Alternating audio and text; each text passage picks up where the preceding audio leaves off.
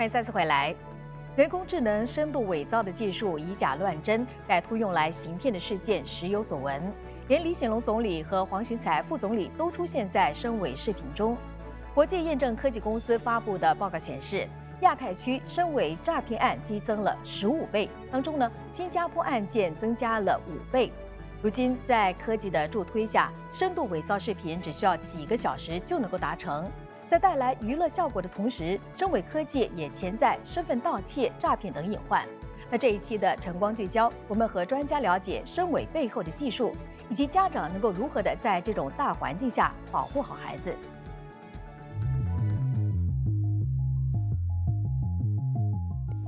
观众朋友你好，我是晨光 B 线主播苏美兰。今天我们要聊一个非常有趣的课题，Deepfake，也就是深度伪造科技。眼睛锐利的观众朋友可能已经察觉到，这位并不是主播苏美兰，而是另有其人。晨光编导和新加坡国立大学合作，利用深伪科技制作出无论是相貌还是声音都像极了苏美兰的视频。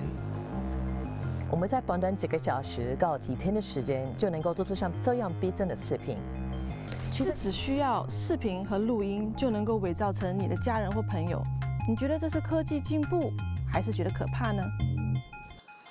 近十年来，深伪科技持续发展，目前已经具备换脸、换声音、转换语言发声等能力，极大地模糊了事实和虚构之间的界限。它能让已故演员重新出现在荧幕上，更能让你和明星换脸和声音。深伪科技的娱乐成分高，但也经常被不法分子用来为非作歹。people are made to say what they didn't say and made to do what they didn't do and put in um, compromised positions that they don't even have. 例如，近期社交媒体出现李显龙总理在接受访问时呼吁观众投资的深伪骗局视频，以及去年在社交媒体上流传的一段冒充乌克兰总统泽连斯基宣布投降的视频。这些深伪视频引发假信息传播。而这些扭曲事实的诈骗视频，如今在不断增加。国际验证服务供应商 SumsUp 在2023年发布的年度身份欺诈报告中指出，在2022年到2023年间，深伪相关的诈骗案增加约十倍，当中亚太区激增了百分之一千五百三十，而菲律宾、越南、日本是这类案件增幅最高的三个国家。They can produce very good deepfake. On top of it, they do have a huge economy. The, the land, the number of population is big.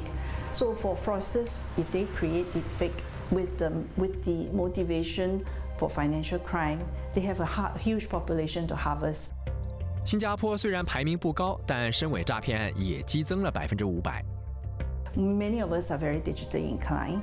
Um, we have an affluent uh, population. Um, on top of it, based on the fact that our infrastructure is pretty good, the fake can be uh, uploaded easily and uh, propagated and disseminated very quickly to a large audience. 除了传播速度快，如今连制作深伪都变得更简单。啊，因为生成的那个数据和模型可以分享，大家都以它以积木的一个基础从做新的基础，所以会一个非线性的生长得更快，随便到那个 app 就可以做好了。网上可以看到很多。其实前面播出的深伪视频也是通过已存在的网络数据和模型做出来的。那我们有一个被啊有一个原输入的视频，然后我们把这两张啊原始的视频还有这个照片放进一个深度学习的模型里面，然后这个模型就可以输出这样的一段视频，过程可能只需要二十分钟。就像拼凑人脸一样，人工智能通过大量信息学习后会识别不同面部特征。然后将它们拼凑在一起。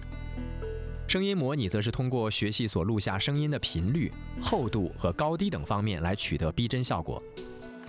妈妈，我被人绑架了。他们要你放一万块进去银行户口。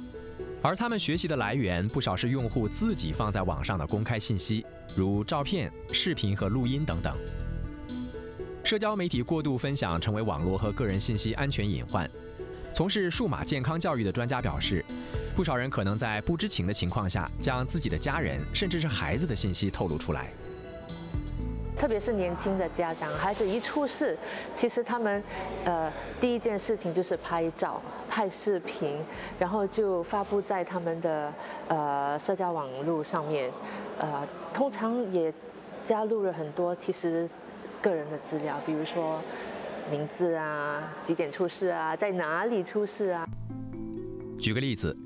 重新设置账号密码的安全问题，一般都是询问一些和个人相关问题，比如你第一个宠物的名字、老师的名字或学校名字等。If somebody uh, observes all your social media data from now, a scammer could type in a false password and then do a password recovery, giving very accurate answers to the password recovery questions. 除了个人信息泄露隐患，歹徒也能通过家长在社交媒体分享的照片，从中了解他们孩子的行踪。They may not even uh, put up the child's photo, uh, the face or anything, but about their cert. So they are, you know which school they are going to, which grade they are in. And uh, you know, if you make a series of such postings about their various achievements, a scammer could actually reconstruct the life of your child and then can make a sudden phone call that your child uh, was found bleeding outside of this school. 而随着深伪科技越来越进步，这类诈骗手法更加难以辨别。骗徒把从多方收集到的资料、脸孔和声音集合在一起， 容易让家长不小心上当。For example, it could be converted into a video where your child, in a false way, appears to be uh, injured. Generative AI raises a whole level of privacy concerns because you are actually giving away easy data to scammer to be used against you. 教授表示，如今人们对社交媒体依赖性高，这也带来了相应的隐患。 他和团队正在研究一款能够警告用户上传任何信息时所面对的隐患，希望能带来改变。随着深伪科技越来越普遍，我们该如何自保？教授表示，凡是看到视频或图片时，不要太快下结论，应该进一步了解和查证。这里也教你几个辨别深伪视频的方法。头头两个就是听他的声音和观察他的眼睛，第二就是说讲话有没有同步，语调啊啊对不对？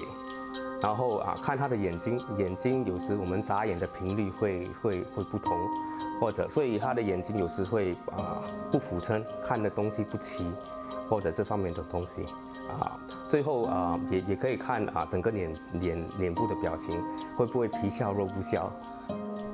但随着深伪科技越来越进步，光靠肉眼可能不靠谱。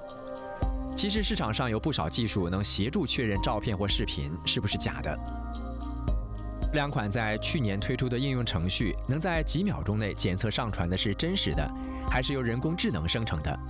公众也可以到防伪科技公司 SumsUp 推出的 For Fix Sick 网站，免费上载照片或视频，以确认内容的真伪。而在社交媒体和科技巅峰时代成长的孩童，未来所面对的挑战将更大。家长对下一代的教育越发重要。作为家长，当然是要从小开始去培养，跟他们一起讨论，就是呃，不要随便把就是照片随便发给别人，不要随便把照片就是呃用 deepfake，然后去加上别的东西，然后去发给别人。有科技很容易让孩子们或者青少年们其实去做一些不太好的事情。家长也需要通过解释什么是深度伪造，如何识别和应对深伪问题，从小灌输孩子正确的观念，以更好适应未来。